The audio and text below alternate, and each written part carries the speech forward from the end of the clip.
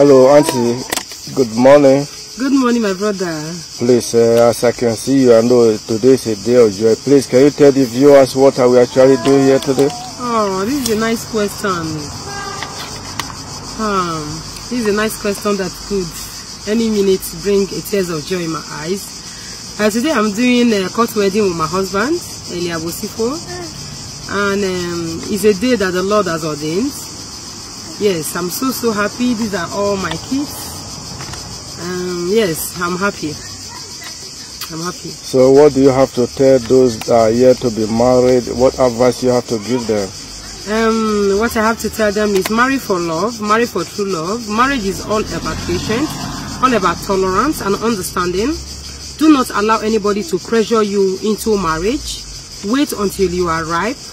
Wait until you are ready. And uh, then you can go into marriage because it's your decision.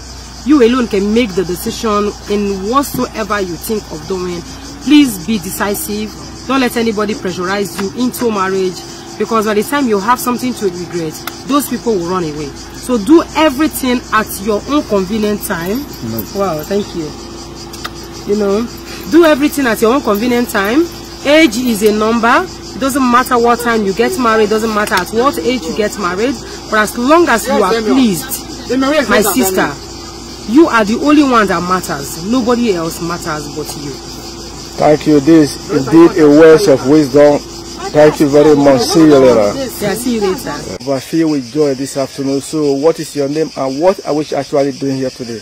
Yeah, my name is Mr. Eliabu Sifu. We just got wedded at the court right now. I'm so happy and I just thank God. Today I can say that I have finally wedded my wife in court. I just give God all the glory.